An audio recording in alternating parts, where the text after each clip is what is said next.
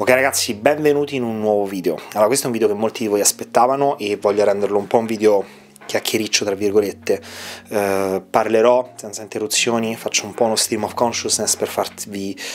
capire quelli che sono i miei pensieri al riguardo ed è il video in cui vi spiego come gestirò questa mia prossima off season. Saranno due video in realtà. Questo primo video parlerò dell'alimentazione e il prossimo dell'allenamento.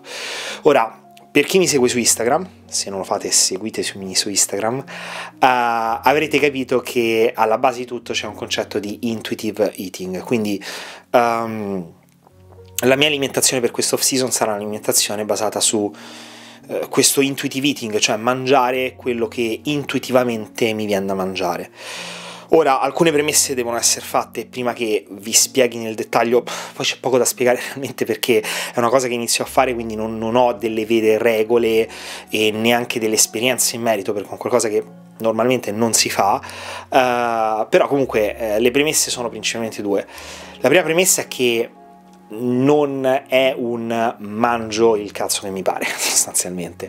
Assolutamente no. Uh, quello che uh, è l'intuitive eating è avere comunque un know-how, una conoscenza di base di quella che è l'alimentazione, quindi mangiare, avere un'educazione alimentare e su questi principi di educazione alimentare semplicemente ascoltare il proprio corpo, cioè cercare di ascoltare i segnali che il nostro corpo ci manda. Ed è un qualcosa che noi bodybuilder non abbiamo la capacità di mettere in, in pratica né di saper apprezzare e non abbiamo la capacità di apprezzare quanto potente e preciso possa essere il nostro corpo nel dirci quello di cui ha bisogno, perché semplicemente dal giorno 1 seguiamo un'alimentazione, per noi ho finito di mangiare quando ho finito quello che c'è scritto nella uh, dieta, nel pasto, e sono sazio in base a principalmente quello che devo mangiare. Quindi ci discostiamo totalmente da quelli che sono i segnali che ci manda il nostro corpo e quando abbiamo i nostri pasti liberi, fateci caso, non abbiamo idea di se siamo sazi, se vogliamo un qualcosa o la vogliamo soltanto perché è il pasto libero e quindi possiamo mangiarla effettivamente. Ed è una situazione molto complicata. Ora io ho parlato diverse volte del fatto che um, di base secondo me l'agonista non dovrebbe pesare, eh, neanche, cioè di base non si dovrebbe tracciare macros, si dovrebbe avere un'alimentazione e pesare, però il non agonista secondo me non dovrebbe neanche pesare il cibo, ma dovrebbe semplicemente appunto basarsi sui concetti di educazione alimentare, di un'alimentazione piena, gustosa, sana ed equilibrata, applicarli senza impazzire a uh, pesare il cibo, perché secondo me uh, la nutrizione per l'uomo non dovrebbe essere vissuta con la bilancia, cioè è inconcepibile che una persona X, che non è un atleta agonista, vive la sua vita pesando tutto quel che mangia. Uh, dal mio punto di vista, e questo è un secondo punto, una seconda premessa, tutto quello che dirò in questo video potrà essere usato contro me, a parte sì, ma tutto quello che dirò in questo video si applica su di me ragazzi, sono mie conclusioni, sono cose che possono funzionare su di me e potete e dovete, eh, se del caso, non essere d'accordo e semplicemente riconoscere che per voi queste cose non valgono, questi ragionamenti non valgono, non si applicano e questo va benissimo, ok? Quindi uh, io per dirne una ho la fortuna di avere Giorgia che cucina e che prepara piatti meravigliosi, quindi per me il uh, sedermi a tavola senza sapere che cosa c'è da mangiare è un, un'esperienza bellissima, sapendo che lei pure ha dei concetti di nutrizione di base, quindi per me è un'esperienza bellissima. Logicamente se voi mh, vivete da soli e non sapete cucinare, non vi piace cucinare,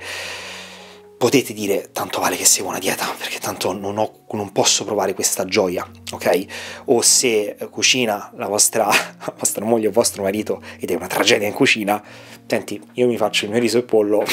a posto così, oppure faccio quello che mi spetta, insomma, eh, seguo la mia dieta a posto, non ti preoccupare tesoro, sei bravissima, mi piacerebbe, però io, io ho la mia dieta, tu sei, cucina per te, vai tranquillissimo, ok? E questo è, um, è un altro discorso per dirne una. Quindi eh, sono, voglio condividere con voi quelle che sono le mie conclusioni che ho maturato in quest'ultimo anno. E l'altro discorso è che sono veramente convinto che tutto quello che farò in questa off season sarà un grandissimo passo avanti, quindi un vero game changer in termini di risultati. Quindi non vedetela come un Ludo abbandona un po' il bodybuilding, Ludo fa un passo indietro, no, sto facendo quello che sono convinto essere un passo avanti importantissimo e sono convinto che porterà dei risultati anche, cioè soprattutto poi se vogliamo, dei risultati estetici veramente molto molto importanti. Quindi sto andando in questa direzione, ok? Sto andando sempre nella stessa direzione e questo vale anche per tutto quello che vedrete essere poi l'impostazione dell'allenamento. Quindi fatte queste premesse, allora qual è il concetto di base? Uh, di nuovo è difficile fare un video per spiegarvi tutto. Quando fate bodybuilding da tanti anni e arrivate ad avere buoni risultati e arrivate al punto in cui i risultati sono sempre più rosicchiati, tra virgolette, avete tanto margine, però sono sempre più difficili da ottenere, il bodybuilding vi porta a vivere costantemente nel cercare di più. Cosa posso fare di più? Uh, che allenamento posso fare? Che cosa posso inserire? Che finezza mi sta sfuggendo? Uh, andate a cercare come si allenano i campioni, vedete protocolli, fate consulenze, cercate di riapplicare alcuni dettagli, alcuni integratori utilizzati in un certo modo, un timing particolare, un certo tipo di ricarica, un certo tipo di stimolo, di allenamento, di schema motorio. E avete iniziato a sviluppare dietro questa fame di risultati che è positiva perché è quello che io credo manda avanti e dovrebbe mandare avanti tutti noi quindi è positivo avere fame di risultati, però iniziate a sviluppare questa fame che vi porta a chiedervi sempre cosa posso fare di più, cosa posso fare di più, cosa posso fare di più e il bodybuilding ha questo effetto di risucchio, vi risucchia totalmente.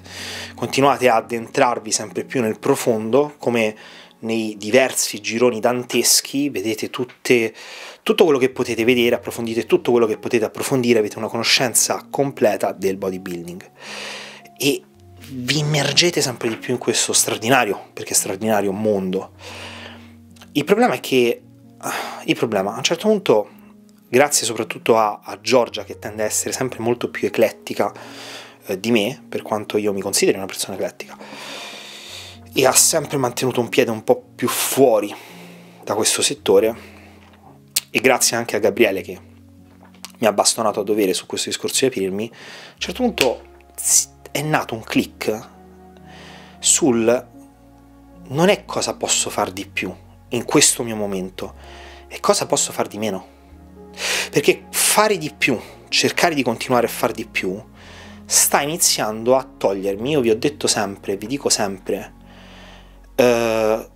cercate di capire sempre quanto un qualcosa vi dà e quanto vi toglie. E fate in modo che vi dia, fate in modo che vi arricchisca. Ecco, il bodybuilding in qualche modo mi stava togliendo.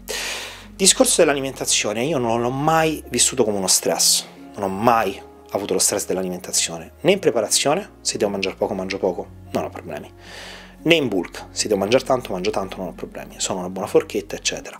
Quindi io non ho mai avuto lo stress del dover seguire un piano alimentare, questo no. Però mi sono reso conto che non avevo lo stress, ma mi stavo privando di una gioia. La gioia che stava provando Giorgia nel godere il cibo, lo sapete lei ha la pagina Le Bistro, per chi non lo sapesse è, è una cuoca, cioè nasce come cuoca, poi ha applicato tutto quanto al fitness, però in cucina è veramente veramente brava. E, um, e vive il cibo come dovrebbe essere vissuto, vive il gusto, vive l'esplosione e riesce a vedere una ricetta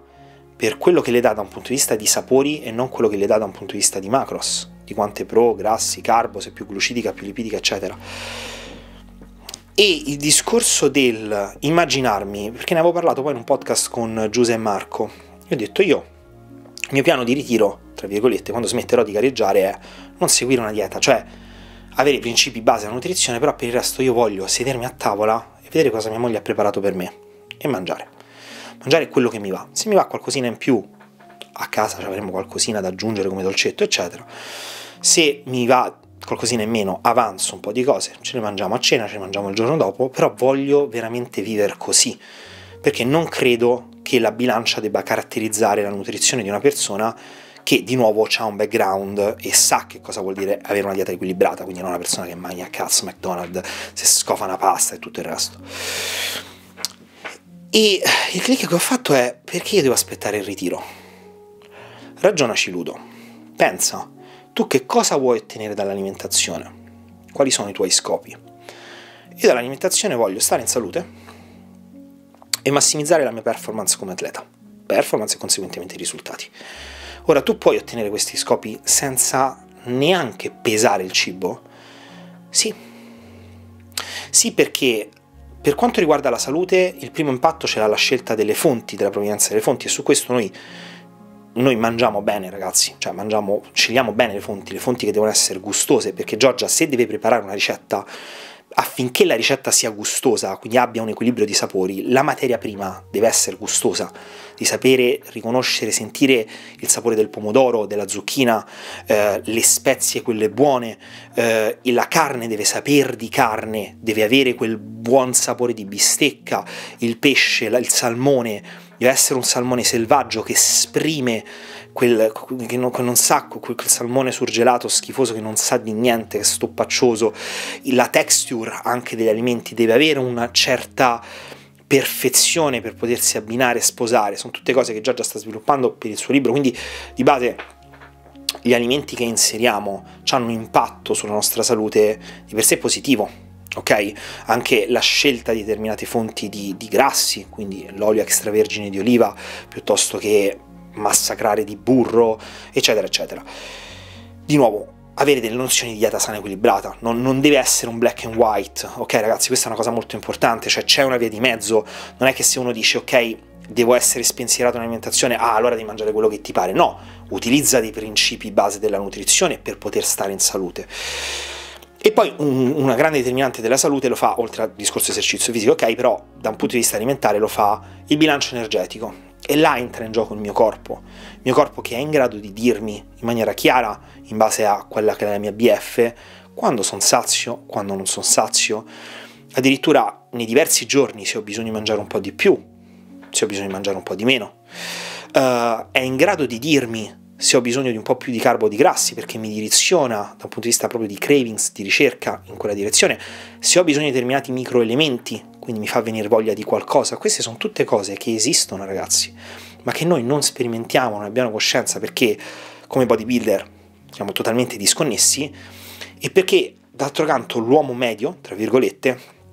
ha un'alimentazione che è fortemente vittima dell'industria alimentare, quindi anche da un punto di vista di ricerca dei sapori, di bisogni, eccetera, è totalmente distrutta e di nuovo disconnessa perché l'industria alimentare bombarda di sodio, di grassi, tutto quello che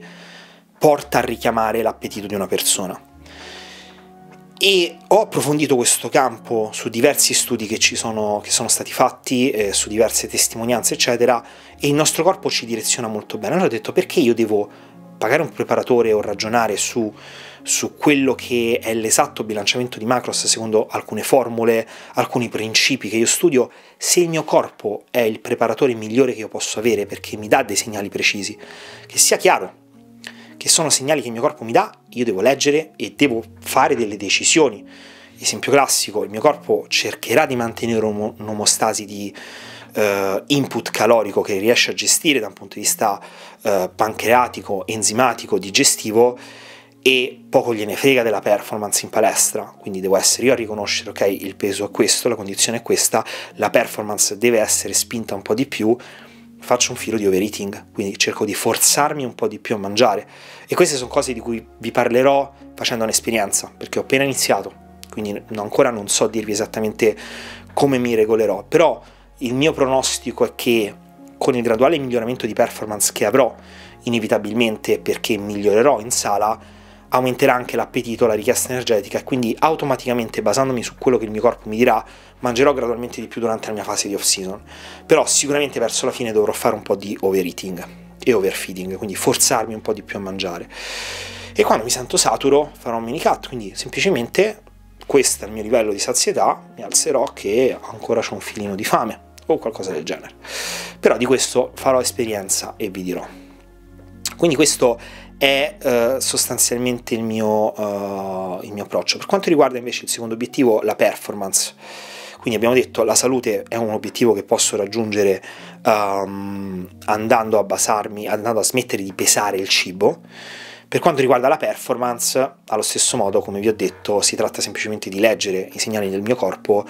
e prendere delle decisioni sul, tra virgolette, ignorarli e forzarlo un pochetto, perché comunque la performance, il bodybuilding è un forzare il nostro corpo, quindi si parte da questo assunto. Ora, eh, Di nuovo, altra cosa che voglio dirvi è che non si tratterà, eh, se mi seguite su Instagram, a parte gli scherzi sulle storie, io sto postando in questi giorni tutto quello che mangio e non scrivo ovviamente le quantità perché non le so, però vi do un'idea. Uh, attualmente la mia impostazione è mi sveglio la mattina, uh, faccio il mio cardio, poi di questo parlerò, faccio colazione, è una colazione in cui mangio, eh, uh, Giorgia fa il, il, porridge per tutti e due, ci mette per arricchirlo in preziosismo lo della frutta eh, essiccata, quindi fichi piuttosto che datteri eccetera, e um, la pasta di cacao, ogni tanto ci metto un filo di miele, insomma poi quello lo vede lei, delle spezie magari per aromatizzare, e, e io a parte per uh, far fronte alla fame, perché non voglio attopparmi da vena perché è il mio pre-workout, e ho le isofugi, quindi le whey, con i cereali di riso, che digerisco molto molto bene, e mangio a sazietà. So che mi devo allenare nel giro di due ore e mezza, tre ore, perché così funziono io, quindi cerco di non, cioè, di arrivare ad essere sazio e non esagerare, perché se esagero, per come sono fatto io, se ho anche un filo di qualcosa sullo stomaco quando mi alleno, mi alleno male, quindi devo arrivare che sono comunque abbastanza tranquillo. Quindi mangio a sazietà, mi faccio due o tre ciotole, non so, di cereali così, l'avena, eh, due scoop di whey e um, questo è. Allenamento ho l'intra-workout con 60 grammi di glycobol, quelli di peso, e eh, 20 grammi di Alphatec e il sale, tanta acqua, tanta acqua durante la mattina che bevo. Poi c'è il mio post workout e Giorgia là semplicemente si orienta su un pasto che è principalmente glucidico, quindi eh, c'è sempre del pane a tavola, eh, può fare patate dolci, eh, fa un, un, primo che può essere pasta, riso, couscous, insomma le ricette sono tantissime ragazzi e per me è una sorpresa ogni volta quindi um, e una um, piccola moderata quantità di proteine uh, da fonti nobili uh, nella maggior parte dei casi il pesce uh, che può essere un merluzzo piuttosto che un, un altro pesce o la carne che può essere il pollo o una carne magra dipende dalla ricetta di per sé. Um, se dopo aver finito ho ancora fame e sento di avere come fame, mi faccio un bagel con la marmellata, tipo oggi me lo sono fatto, mi sono eh, riscaldato un bagel, ci ho messo la marmellata all'interno, un filo di marmellata e via. Ah, ecco, se ho fame, per esempio, la mattina mi faccio un frutto, anche in più. Uh, da là io normalmente non, non, sono solito fare uno spuntino, non mi ci trovo uh, per i miei ritmi, quindi seguo anche questo. Sicuramente se mi viene fame a metà pomeriggio mangio qualcosina, però normalmente vado tirato fino a cena, noi ceniamo piuttosto presto ragazzi, quindi pranziamo verso l'una e ceniamo verso le sei e mezza e e a cena di base Giorgia si orienta un po' più su una cena uh, lipidica, quindi uh, molto spesso cereali e legumi senza fonti di proteine nobili, io in quel caso aggiungo un filo di protesamine giusto per dare una spinta alla proteosintesi, quindi 8 caps di protesamine, um, se no per esempio un salmone, una carne grassa che è grass fed, il salmone è selvaggio, uh, quindi comunque grassi che sono tendenzialmente buoni, verdura, sempre una quantità di carbo che può essere il pane piuttosto che le patate dolci, piuttosto che il riso, eccetera. Di nuovo, ragazzi, ogni volta c'è una cosa nuova, una cosa diversa. Eh, molti legumi, eh, molto spesso polpetti di legumi li digerisco molto molto bene, mi fanno impazzire, mi piacciono tantissimo, quindi quelle le inseriamo molto spesso. E... Uh, e questo è, e di solito alla fine ci facciamo un dolcetto che di nuovo può essere qualsiasi cosa. Molto spesso sono ricette che Giorgia ha preparato per il suo canale oppure per uh, il canale di IAF e sono quindi uh, dolcetti con l'avena, con i diversi burri di, di noci, di pistacchio, eccetera, uh, quindi cose spaziali deliziose. Questo è per darvi un'idea, poi come detto è Intuitive Eating, quindi Giorgia sta preparando il libro eh, di Lefi Bistro, quindi ha tantissime ricette da presentare e eh, fa ricette per la pagina, quindi c'è veramente di tutto, però la linea più o meno è questa, tanti carbo, eh, carbo e grassi a colazione, tanti carbo nel post workout, un filo di grassi che per carità ci possono scappare, magari ecco eh, nel bagel con la marmellata ci metto un filo di burro di pistacchi di AF che è pazzesco, buonissimo um, e principalmente un po' più di grassi, un po' meno carbo nella, alla cena. E questo è il discorso del applicare dei principi di dieta sana e equilibrata, cioè dei principi base che seguite senza stare a impazzire. Quanti carbo non lo so, quanti grassi non lo so, tendenzialmente un po' più grasso la sera, un po' più um, glucidico al, um, all'ora di pranzo. E per esempio se dovrò forzare un po' uh, con l'alimentazione, spingere un pochetto, inserirò un, uno spuntino. Il pre-nanna non è né a me a Giorgia fa impazzire come pasto perché ci piace fare una bella cena e poi avere il tempo di digerire però eventualmente posso aggiungere anche un prenana se vedo che devo spingere proprio il peso capite saranno regolazioni saranno fatte così Non so questo a cosa porterà. Uh, il Ludovico di tempo fa avrebbe detto a questo Ludovico, dai, a questo video avrebbe risposto, dai, non te va di fare la dieta. E io gli rispondo, sì, è esattamente questo, non mi va di fare la dieta. Per me il gioco non vale la candela, perché mi privo di momenti di gioia importanti, perché il cibo è anche questo, e mi forzo a snaturarmi perché perdo un certo senso di affinità col mio corpo che non voglio perdere. Io voglio vivere l'alimentazione in maniera più serena possibile e eh, sono nella posizione di dire che si può fare in un contesto di off season, per carità, e può, non può fare altro che beneficiare a me personalmente. Io sono in un pieno rebound, ragazzi, post gara, periodi che chi ha gareggiato sa essere più difficili in assoluto in rapporto col cibo. Non sono mai stato così sereno col cibo, ve lo dico col cuore. E come vi ho sempre detto col cuore che io in rebound avevo cravings e ho sempre vissuto il cibo male e che è normalissimo che sia così, perché il corpo ti spinge a mangiare di più, vuole che ingrassi, quindi c'hai cravings, però avere l'idea che non c'è una dieta, avere l'idea che io ieri ho portato mia moglie a cena fuori per l'anniversario in un locale molto carino, un sushi, e ho realizzato questo non è un pasto libero, cioè è, celebriamo l'anniversario, però non è un'occasione in cui mangio fuori e posso mangiare quel che voglio. Questo io lo posso fare domani se mi va. Dopodomani possiamo uscire a cena fuori anche tutte le sere. Non c'è il cheat meal, non esiste lo sgarro. Non ho cravings. E mi sto fermando a mangiare quando sono sazio. In poco tempo ho recuperato questo. E perché? Perché non c'è il pensiero del oddio devo mangiare perché posso mangiare adesso questa cosa e poi devo tornare a fare la dieta. E quando faccio la dieta dico oddio quella sabato me la mangio, sabato al cheat me la mangio, quella cosa me la mangio, quell'altra me la mangio, questa la devo provare. Oppure assaggio e dico oddio quanto la vorrei però io devo seguire la dieta. Non esistono queste cose. E allora assaggio questa cosa e dico oddio quanto la vorrei. La voglio davvero? No, mi basta questo cucchiaino. È buono, a posto, sta là, quando mi va me la prendo e poi alla fine finisce che non me la prendo. E mi sta dando tanto mi sta dando veramente veramente tanto. Quindi io spero che questo video possa essere uno spunto di riflessione per voi, sia nel provare magari a cimentarvi in questo, a ritrovarvi nelle mie parole, o dire vade retro, vada retro, questa cosa non la farò assolutamente mai. Uh, a me sta dando tanta felicità, sta dando tanta felicità, è una cazzata però sta dando tanta felicità anche a me e a Giorgia, non che non c'era prima una felicità, lo sapete, siamo fantastici, ci amiamo tantissimo, però uh, respiriamo, stiamo respirando molto molto di più e stiamo capendo quanto il, il bodybuilding possa essere vissuto in maniera di darti soltanto e non farti perdere nessun attimo della vita Ora, se io avessi le carte per poter andare all'Olimpia, probabilmente non farei questa cosa, perché non è il best case scenario se vuoi raggiungere, se vuoi essere sicuro, attenzione, di raggiungere il massimo dei risultati, perché se arrivi a quel punto e se puoi arrivare a quel punto hai un livello di commitment per cui seguire una dieta precisa è un qualcosa che ti dà un drive ulteriore a me personalmente non lo dà in questo momento, quindi se voglio il massimo dei miei risultati, devo fare questo passo indietro. Questa è una cosa che ho realizzato. E sto bene, sto veramente bene, mi ha dato veramente, veramente tanto. Fatemi sapere che cosa ne pensate qua sotto nei commenti, sono veramente molto molto curioso. E sarò ben lieto logicamente di rispondere a qualsiasi vostra domanda e dubbio di qualcosa che magari mi è sfuggito. Noi ci vediamo col prossimo video in cui vi dirò come gestirò l'allenamento, quindi la componente dell'allenamento, che forse vi darà un quadro anche più completo, quindi vi rimando al prossimo video.